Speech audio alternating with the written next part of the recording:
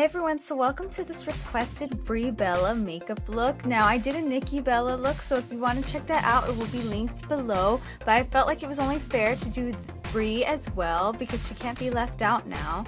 So I'm just going to take my chocolate bar palette as usual and take salted caramel just to start off as a transition crease color. Um, yeah, so the eyeshadows can just blend flawlessly into this color. I feel like this is a really good color to start off in the crease area. Then taking my Almond Satin palette from Maybelline, I'm just to take that taupey ash color and place that also as a base on my lid. If you guys are familiar with my channel, you know I use these palettes a lot. They're just my starter palettes. So I'm just to blend more of that salted caramel into the crease again so we don't lose any pigment. Then I'm going to take this e.l.f eyeshadow palette and I'm going to take this gray shimmering color and place that over the taupe and it's going to create this nice shimmering effect over that matte color. So yeah, just blend it out.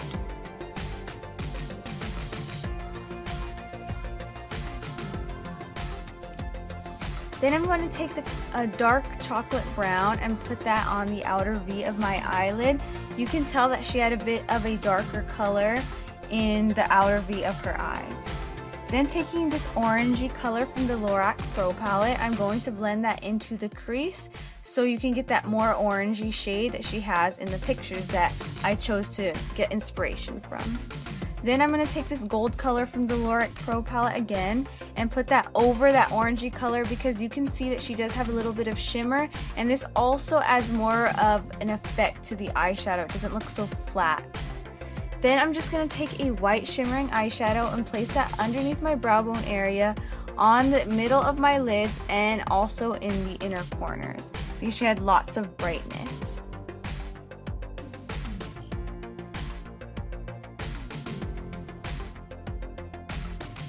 Then I'm going to take another darker gray color and place that on the outer V again just to get more darkness and depth in there and also you're want to bring that color down to your lower lash line and kind of create a mini cat eye shape. I looked at the picture very closely and it looked like that's what she had going on. Then I'm going to blend it out with a fluffy brush and then take your blackest eyeliner because she had this smudged liner like crazy.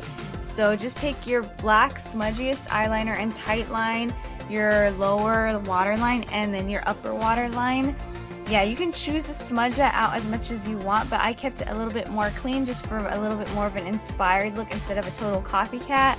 So yeah, then I'm taking another black eyeliner and smudging it up on the top. The eyeshadow on the bottom already gives that smudged effect, so I didn't want to smudge it out too much. Then I'm going to go back with that orangey color and just touch up in the crease. So then I'm going to curl my lashes and take your blackest mascara to give you full volume. You can use falsies if you lack in the lash department, but it didn't look like she was wearing any falsies in this picture. I could be wrong, but it didn't look like it, so I didn't want to put any falsies on to mask this beautiful look. Also be sure to put it on your lower lash line so it could look more smokier down there as well.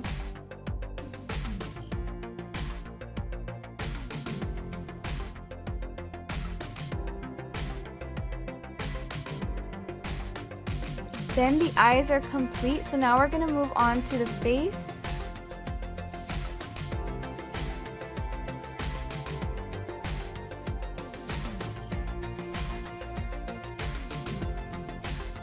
So I just took this e.l.f. palette and I took the more goldish bronzer color and placed that on my cheekbone area.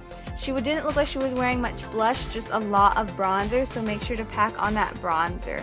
You are so lucky if you are tanned like her, but I am very fair, so yeah, I gotta pack on that bronzer to get those sculpted cheekbones.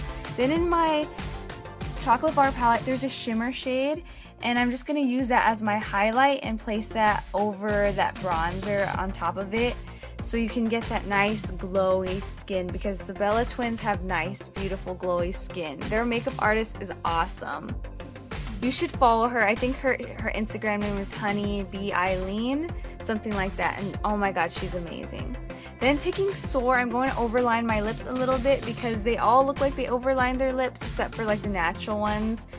So yeah, and then I'm going to take Pink Plaid by MAC to get that really nice pinky lippy that, that she has and I really loved it. I really want to know what it was, but none of the products are listed.